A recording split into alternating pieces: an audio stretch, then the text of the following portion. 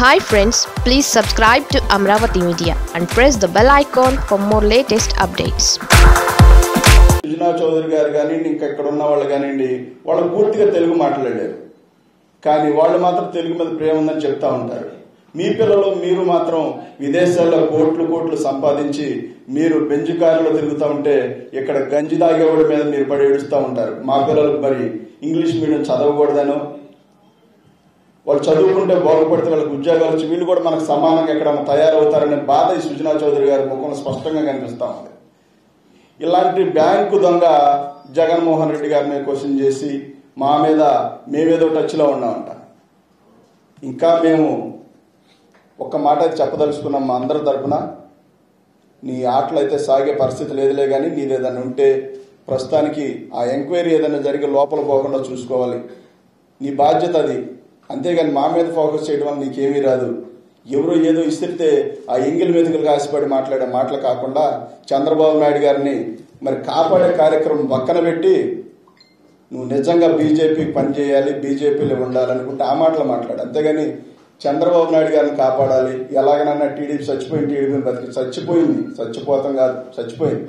TDP అనేది ఆంధ్రప్రదేశ్లో దాదాపు చచ్చిపోయింది. అది ఇంకా బతికే పరిస్థితి లేదు. దాన్ని బతికించాలని చెప్పి విశ్వ ప్రయత్నాలు మీరు వంద ఇంజక్షన్లు చేసి లేపినా కానీ అక్కడ లేకూడదు అది లేచి బతికి తిరిగే పరిస్థితి కూడా కనిపించట్లా. అలాంటి టీడీపీ మీద ఇంకా మోజు చచ్చిపోలేదంటే మీ పాత స్నేహం ఎట్లా ఉందంటే చంద్రబాబు నాయుడు గారిని పూర్తిగా ఆయన జైలుకి వెళ్ళకుండా నువ్వు జైలుకి వెళ్ళకుండా కాసేపు కాంగ్రెస్తో కలిసి తిరుగుతారు కాసేపు బీజేపీతో కలిసి తిరుగుతారు. మీ ఎక్కడ నికరం అనేది మీకు ఒకటి ఉందా?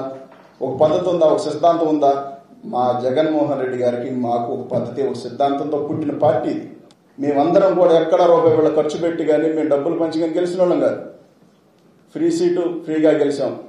భగవంతుడు అవకాశం ఇచ్చాడు. జగన్మోహన్ రెడ్డి గారు ఆశయ సాధన కోసం మా వంతు మేము కృషి చేస్తున్నాం.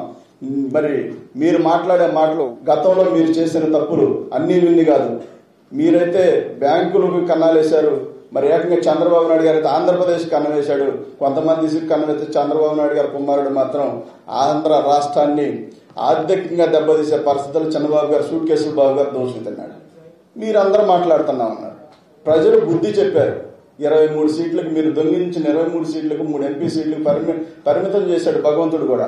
అయినా మీకు ఇంకా అర్థం కాకపోతే మరి ఆ భగవంతుడే చూడాలి తప్ప మనుషులకైతే మీకు చెప్పే పరిస్థితి కాదు. మనుషులకైతే ఒకసారి చెప్పగలుగుతాం.